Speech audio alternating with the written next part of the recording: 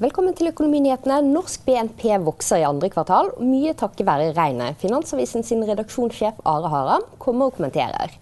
Vi skal også se på Statoil, Storbrann og Gjensidige. Og vi har vært innom Enpro, som leverte andre kvartalstall i dag. Men først, Trygve. Oslo Børs. Det startet så fint.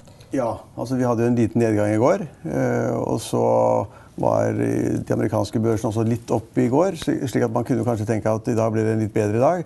Og det startet jo veldig fint da, med at Oslo Børs mellom 9 og 10 så var jo Oslo Børs opp rundt halvannen prosent. Men fra klokken 10 og frem til nå eh, så har det falt hele tiden jevnt og sikkert. Og da jeg gikk i studio, så var da hovedindeksen ned rundt 0,4% og Det er litt sammenfallende med det som skjer i Europa for øvrig. fordi også de europeiske børsene har vært opp sånn 1,5 i dag. Og så har det da liksom i ettermiddag blitt svakere og svakere, slik at det er så vidt de sentrale børsene i Europa nå er på plussiden. Eh, så det er dabbet av. Men eh, de amerikanske børsene har da faktisk eh, startet pent opp. da. Så det er mulig at Oslo Børs eller Europa snur. De setter Amerika positivt, Men dette er jo helt, det er ikke kommet noen nye makrotall. Det er ingen nye hendelser, det er ingen nye sentralbanksjefer som har sagt noe nytt eller spennende. Så vi siver rundt sånn frem og tilbake i en sånn sidelengsbevegelse og kanskje bitte litt ned på Oslo Børs. Og det var ganske typisk at uh, i dag tidlig så var det de store, tunge selskapene, uh, de som er mest omsatt, som da de var opp alle sammen. Både industri og også olje- og serviceselskapene var opp rundt 2% og det så veldig lovende ut. Uh, og så har det blitt helt borte. Og nå er det bare ett av de store selskapene som er opp, og det er da Telenor, som var opp halvannen prosent i dag, og som nå er opp rundt 1% Resten har på en måte falt tilbake til da minus en halv eller minus 0,3 eller sånt. Og også Statoil uh, så ut til å være liksom korrelert med da oljeprisen, som var litt opp til begynnelsen på dagen. Men så oljeprisen falt tilbake nå, eh, både for brentoljen og letteoljen. Og da har det slått ut på Statoil-kursen.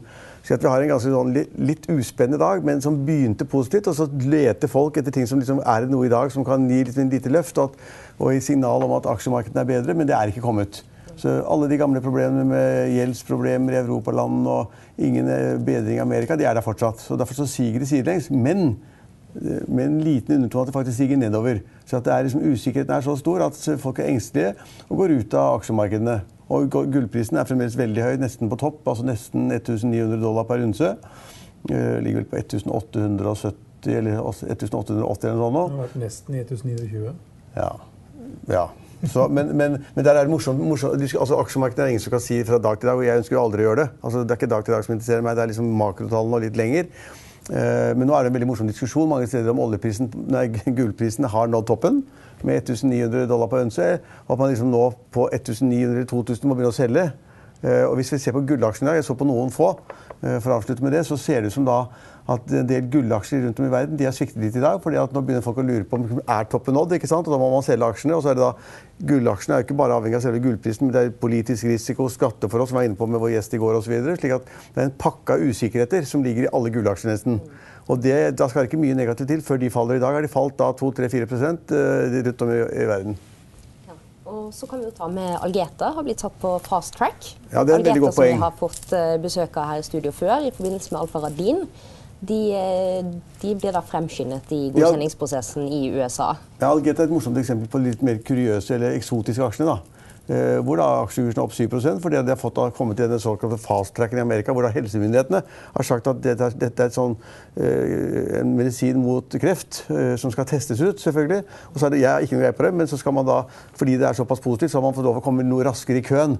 Kanskje.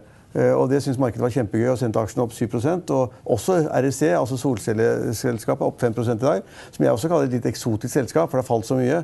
Og det er veldig vanskelig å si hva som skjer med solenergi og fornybar energi.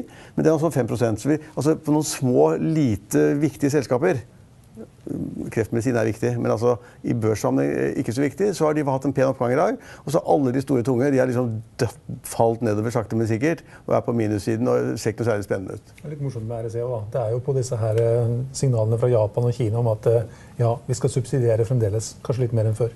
Ja, og så var det også noen som sa at silisiumprisen var gått opp og ikke ned. Og de har falt hele tiden. Så det er, men det er helt umulig å følge med på akkurat det. Det blir sånne småselskaper som ikke jeg skal ha noe greie på. i hvert fall.